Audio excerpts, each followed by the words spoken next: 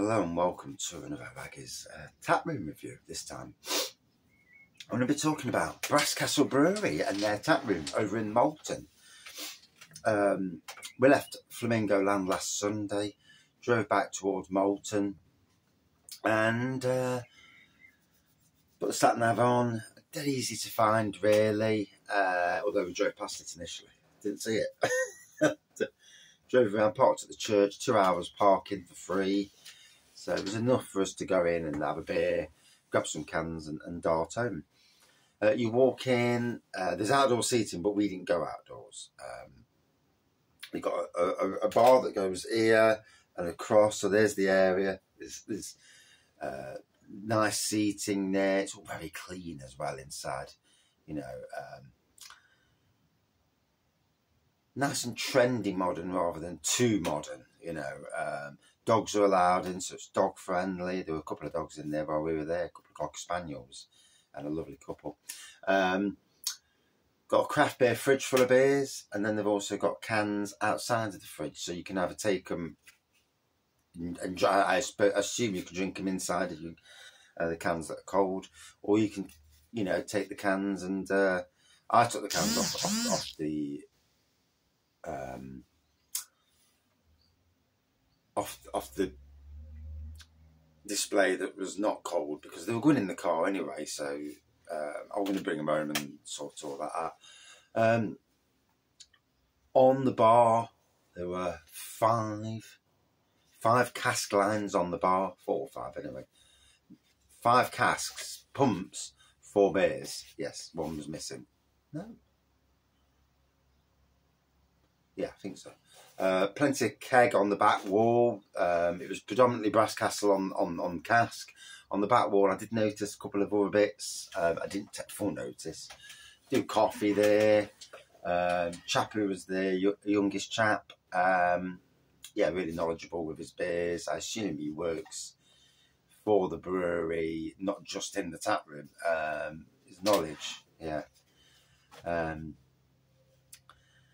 Um, I've got to be honest, cracking little place, you know, for Malton, uh, a proper craft beer venue. Obviously, it's predominantly um, Brass Castle beers in there, which you'd expect. It's their tap room. Um, like I say, I picked up the 12 different beers. They're all here. I picked up 12. I've reviewed one already, the um, stunning Disruptor. That was lovely. Um, New England IPA. That was tasting absolutely spot on. Yeah, I've reviewed. I bought twelve. There was thirteen in total. I didn't fancy the ghost, the other ghost. Um, I think I was just trying to. Um, I think I was just trying to keep the cost down, but it still cost me. I still paid 70, 70 something quid, eighty quid in total. So, yeah, but I've got plenty of good beers, mind you.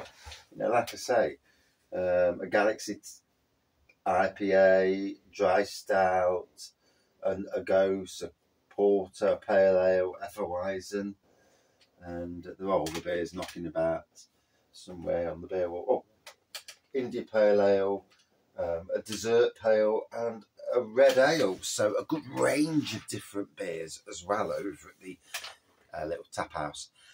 But to be honest, cracking venue. Um, uh, like I say, really friendly people.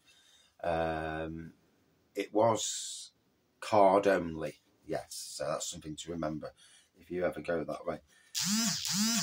There we go. Brass Castle. Someone's messaging me. Um, yeah. Give me the pump clips. One of these will be adorning the beer wall at some stage. Um, I must take one with me actually today to my mates. A couple to my mates for his uh, thing. But um, yeah, must visit location. So if you're at Flamingo Land, you're looking for somewhere to have a nice beer uh, after a hectic day at Flamingo Land, or if, and even if you're staying at Flamingo Land, it's not far. Eight miles is not far to get there, and then get, you know as long as you've got a designated driver, of course, and then go back. Um, it uh, in that area of the neck of the woods, it's for me absolutely must visit. Um, hopefully we'll see a bit more Brass Castle in Nottingham at certain pubs. I always like to, um, especially when they start local pubs to me, start seeing it on my beer wall and hopefully it, you know ignites them to actually um, get some keg and cask down this area of the world to Nottingham. Uh, but yeah, must visit location. And that is my review. Cheers.